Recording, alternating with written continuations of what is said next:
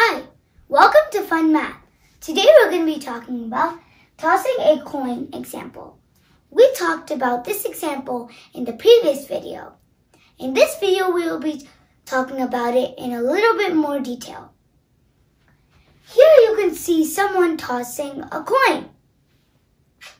I have a coin here. You know that a coin has two sides. On one side we have heads and on the other side we have tails. So there are only two possibilities to get heads and tails.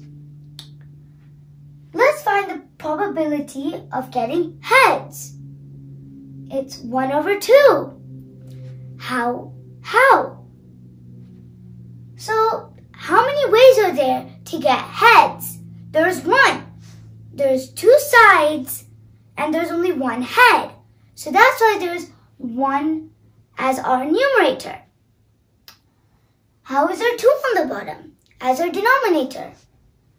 How many possibilities are there? There are two possibilities.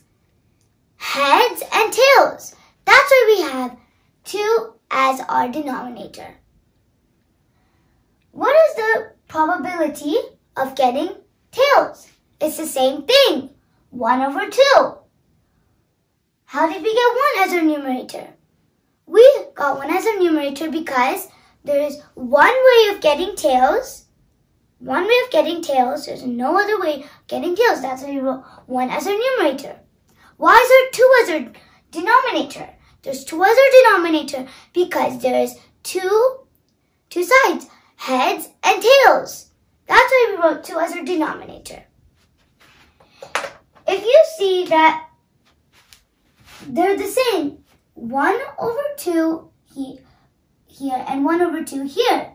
If you see, these two are, we call them as equally likely events. So let's talk about the probability of an event. That's the formula. Let's talk about it.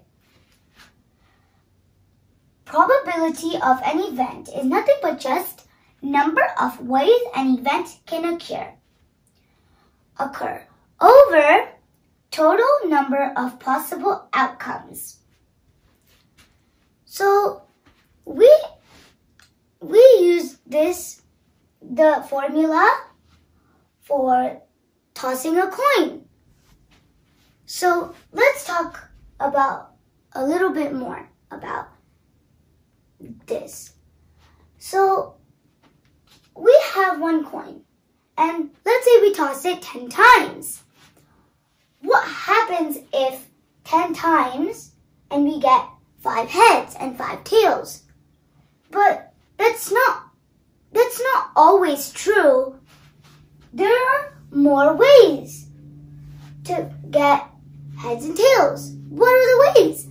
You can say there are nine heads and one tail.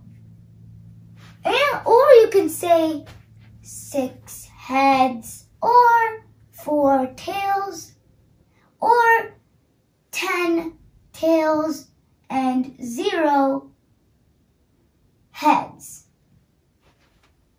And there are many other ways to find heads and tails. If one coin is tossed repeatedly, you will see approximately the same number of heads and tails. Let's say you tossed one coin one million times.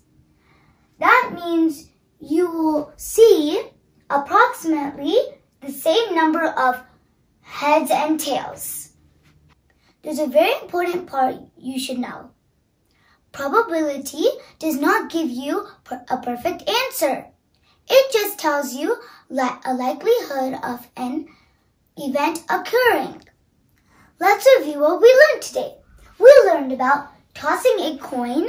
Example, here we saw someone tossing a coin. And we also talked about heads or tails. And there are only two po possibilities, heads and tails. And we also talked about the prob probability of getting heads and the probability of getting tails. And we got 1 over 2. And since they were same, we call them equally likely events. And we also talked about the formula, how to find the probability. And we talked about if you toss a coin many, many times, you will repeatedly, you will see approximately the same number of heads and tails. And we also talked about the very most important part you should know about is probability does not give you a perfect answer. It just tells you likelihood of an event occurring. I hope you learned something from this video. Thanks for watching. Bye!